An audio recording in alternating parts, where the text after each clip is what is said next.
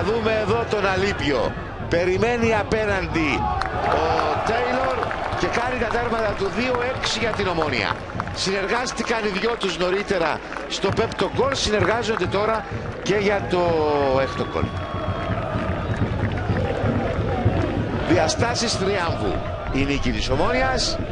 Στο 90 ο Τέιλορ πέρασε στο παιχνίδι. Στα τελευταία 13-14 λεπτά σημειώνει δύο τέρματα, φεύγει από κανονική θέση ο Αλίπιο, η άλλη αλλαγή του κυρίου Σαβεύσκη και όπως συνεργάστηκαν στο πέμπτο συνεργάζονται και τώρα για να γίνει το έκτο τέρμα της Ομόνιας. 6-0. Η Ομόνια η οποία είχε σημειώσει μέχρι σήμερα 7 τέρματα σημειώνει 6